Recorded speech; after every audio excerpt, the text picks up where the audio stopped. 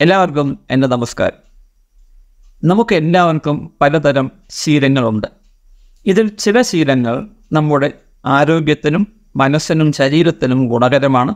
ചില ശീലങ്ങൾ ആരോഗ്യത്തിനും മനസ്സിനും ശരീരത്തിനും ഗുണകരമല്ല.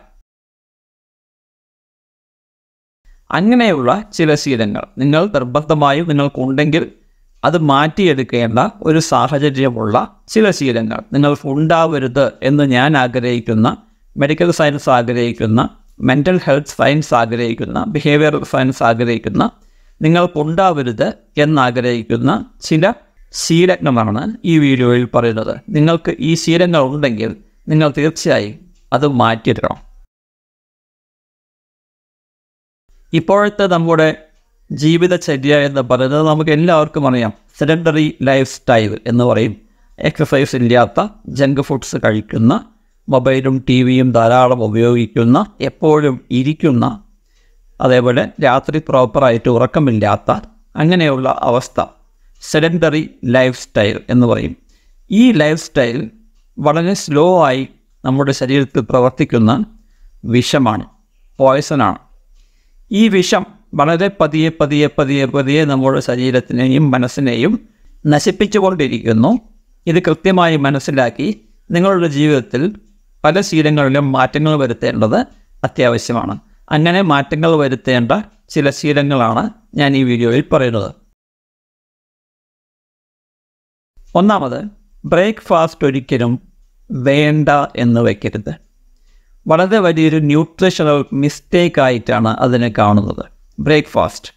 ഏകദേശം പന്ത്രണ്ട് മണിക്കൂർ കഴിഞ്ഞതിന് ശേഷം നമ്മൾ കഴിക്കുന്നൊരു ഭക്ഷണം. അതായത് രാത്രി ഒമ്പത് മണിക്കോ ഒമ്പതരയ്ക്കോ പത്ത് മണിക്കോ ഡിന്നർ കഴിക്കുന്ന ഒരു പക്ഷേ എട്ട് മണിക്ക് ഡിന്നർ കഴിക്കുന്ന നമ്മൾ അടുത്ത ദിവസം ബ്രേക്ക്ഫാസ്റ്റ് കഴിക്കുന്നത് രാവിലെ എട്ട് മണിക്കോ ഒൻപത് മണിക്കോ ആയിരിക്കും. ഏകദേശം പന്ത്രണ്ട് മണിക്കൂർ കഴിഞ്ഞിട്ടാണ് നമ്മൾ ബ്രേക്ക്ഫാസ്റ്റ് കഴിക്കുക. അത് സ്കിപ്പ് ചെയ്യുന്നത് വളരെ വലിയ ന്യൂട്രീഷണൽ മിസ്റ്റേക്കാണ് കാരണം ആ ബ്രേക്ക്ഫാസ്റ്റിലൂടെ നമ്മുടെ ശരീരത്തിലേക്ക് കടന്നു ചെല്ലുന്ന ന്യൂട്രീഷൻ പോഷക പദാർത്ഥങ്ങൾ നമ്മുടെ ശരീരത്തിന് വളരെയധികം അത്യാവശ്യമുള്ളവയാണ്. അതുകൊണ്ടൊരു കാരണവശാലും നിങ്ങൾ ബ്രേക്ക്ഫാസ്റ്റ് സ്കിപ്പ് ചെയ്യരുത്. രണ്ടാമത്തെ പോയിന്റാണ് സ്ലീപ്പ് ഡിപ്രൈവേഷൻ ഉറക്കം കുറവ് ഉറക്കമില്ലായ്മ. ഇത് വളരെ സൈലന്റ് ആയിട്ടുള്ള എനിമിയാണ്. നിങ്ങൾ പോലും അറിയാതെ നിങ്ങളുടെ ജീവിതത്തെ കാർന്നു തിന്നുന്ന നിങ്ങളുടെ മനസ്സമാധാനം നശിപ്പിക്കുന്ന കൂടെ ശാരീരിക പ്രശ്നങ്ങളും ഉണ്ടാക്കുന്ന ഒരു എനിമിയാണ് സ്ലീപ്പ് ഡിപ്രൈവേഷൻ ഉറക്കമില്ലായ്മ അല്ലെങ്കിൽ ഉറക്കം കുറവ്. കൃത്യമായി എട്ട് മണിക്കൂർ നിങ്ങൾ ഉറങ്ങണം നേരത്തെ ഉറങ്ങണം രാവിലെ നേരത്തെ എഴുന്നേൽക്കണം. ഇതൊരു ശീലമാക്കേണ്ടതും അത്യാവശ്യമാണ്. മൂന്നാമത് നമ്മൾ സംസാരിക്കുന്നത് നമുക്ക് എല്ലാവർക്കും ഒരു സെൽഫ് ടോക്ക് ഉണ്ട്. നമ്മൾ എപ്പോഴും ഉള്ളിൽ സംസാരിച്ചു കൊണ്ടിരിക്കുന്നു. മനസ്സിൽ എന്തെങ്കിലും പറഞ്ഞുകൊണ്ടേയിരിക്കുന്നു അങ്ങനെ മനസ്സിൽ എന്തെങ്കിലും പറഞ്ഞുകൊണ്ടേയിരിക്കുന്നതിനെ നമുക്ക് സാഹചര്യം കിട്ടുമ്പോഴെല്ലാം നോട്ട് ചെയ്യുന്നത് എപ്പോഴും നല്ലതാണ്. ഈ പറയുന്ന സെൽഫ് ടോക്ക് നെഗറ്റീവാണോ പോസിറ്റീവാണോ നെഗറ്റീവാണെങ്കിൽ അതിനെ റിപ്പീറ്റഡ് ആയിട്ടുള്ള പ്രക്രിയകളിലൂടെ പരിശീലനത്തിലൂടെ പോസിറ്റീവ് സെൽഫ് ടോക്കായി മാറ്റേണ്ടത് അത്യാവശ്യമാണ്. നാലാമത് മൾട്ടി ടാസ്കിങ് ഒരു പരിധിവരെ ഒന്നോ രണ്ടോ വർക്ക് ഒരേ സമയം ചെയ്യുന്നത് കുഴപ്പമില്ല തെറ്റില്ല. പക്ഷേ ഒരുപാട് ജോലികൾ ഒരേ സമയത്ത് പെട്ടെന്ന് ചെയ്തു തീർക്കണം എന്നുള്ള സാഹചര്യം വരുമ്പോൾ അത് ക്വാണ്ടിറ്റി ഓവർ ക്വാളിറ്റി എന്നുള്ളൊരു പ്രശ്നം വരും. അതായത് ക്വാളിറ്റിക്ക് വില കൊടുക്കുന്നില്ല ക്വാണ്ടിറ്റിക്ക് വില കൊടുക്കുന്നു അതിലും പ്രധാനം ക്ലട്ടേഡ് ആയിട്ടുള്ള വളരെയധികം റെസ്റ്റ്ലെസ് ആയിട്ടുള്ള ഒരു മാനസികാവസ്ഥയ്ക്ക് അത് കളമൊരുക്കും അതുകൊണ്ട് മൾട്ടി ടാസ്കിങ് പരമാവധി കുറയ്ക്കുക. അഞ്ചാമത്തെ പോയിന്റ് ഓവർ ഹൈഡ്രേഷൻ വെള്ളം ധാരാളം കുടിക്കണം. ഒരു ദിവസം രണ്ട് ലിറ്ററോളം വെള്ളം നമ്മൾ കുടിക്കണം എന്നർത്ഥം. അതൊരു കൂടിയാലും തെറ്റൊന്നുമില്ല. മൂന്ന് ലിറ്റർ വെള്ളം വരെയും കുടിക്കാം.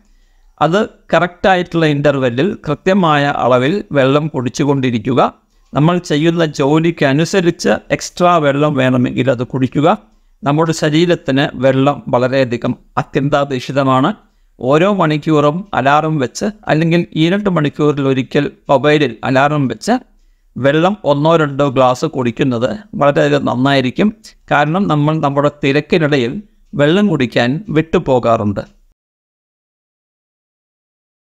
അടുത്തത് നമ്മുടെ മെന്റൽ ഹെൽത്തിന് നമ്മൾ അത്രയധികം പ്രാധാന്യം കൊടുക്കാറില്ല എന്നുള്ളൊരു കാര്യം. മെന്റൽ ഹെൽത്ത് വളരെ ഇമ്പോർട്ടന്റ് ആണ്. വളരെ കോസ്റ്റ്ലി ആയ ഒരു മിസ്റ്റേക്കാണ് നമ്മൾ ചെയ്യുന്നത്.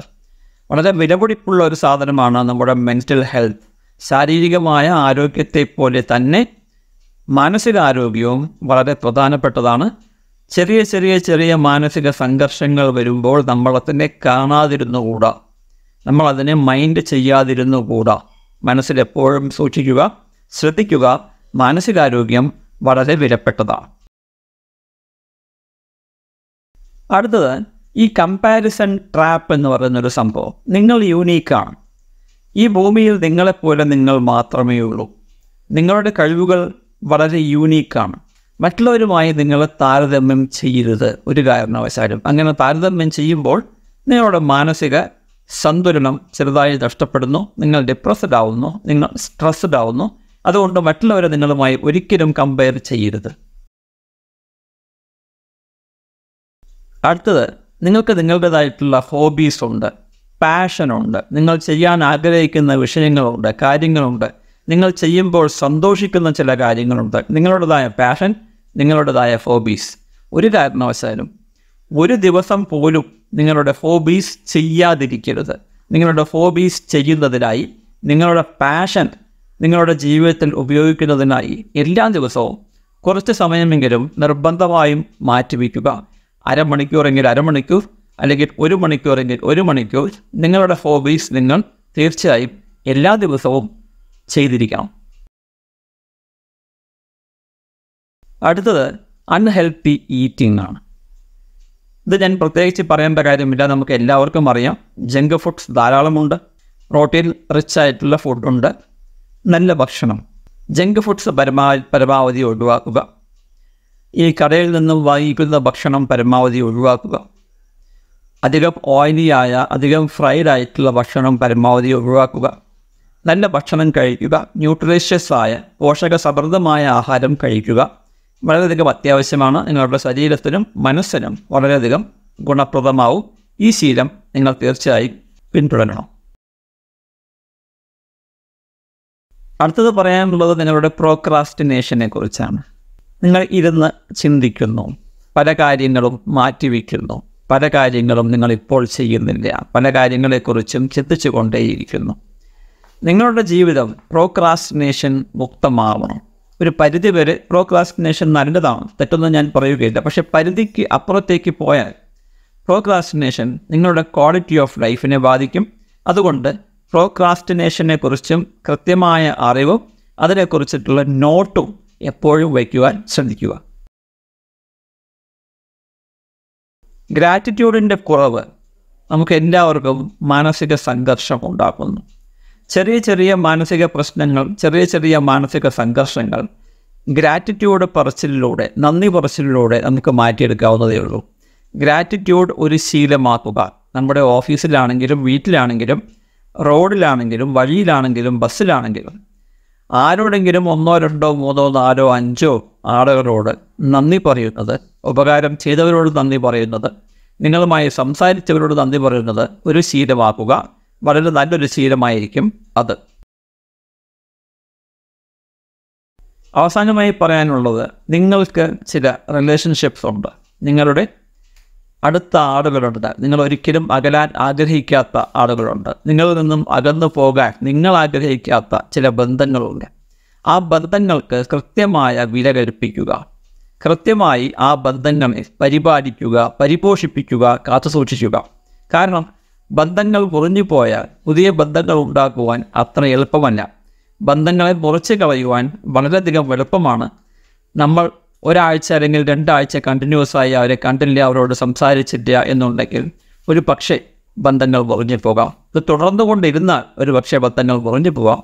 അങ്ങനെയുള്ളൊരു കാഴ്ചപ്പാട് ഒരിക്കലും സ്വീകരിക്കരുത്. അറ്റ്ലീസ്റ്റ് ആഴ്ചയിൽ ഒരു ദിവസമെങ്കിലും നമ്മുടെ ബന്ധങ്ങൾ അവരുമായി സല്ലപിക്കാനോ അല്ലെങ്കിൽ സംസാരിക്കാനോ ഇൻട്രാക്ട് ചെയ്യുവാനോ തീർച്ചയായും നിങ്ങൾ സമയം കണ്ടെത്തണം പുതിയ ബന്ധങ്ങൾ നിങ്ങൾ കിട്ടിയാലും പഴയ ബന്ധങ്ങളെ ഒരു കാരണവശാലും കളഞ്ഞു കൊടുക്കരുത്. ഈ പറഞ്ഞ ഞാൻ ഈ വീഡിയോയിൽ പറഞ്ഞ ഈ പോയിന്റുകൾ ഈ ശീലങ്ങളും നിങ്ങൾ നിങ്ങളുടെ ജീവിതത്തിൽ തീർച്ചയായും വളർത്തിയെടുക്കുക. സന്തോഷകരമായ ജീവിതം മാനസികാരോഗ്യവും ശാരീരികാരോഗ്യവും നിലനിർത്തുവാൻ തക്കവണ്ണമുള്ള ഈ ശീലങ്ങൾ നിങ്ങൾ എപ്പോഴും ഫോളോ ചെയ്യുന്നത് എപ്പോഴും നന്നായിരിക്കും.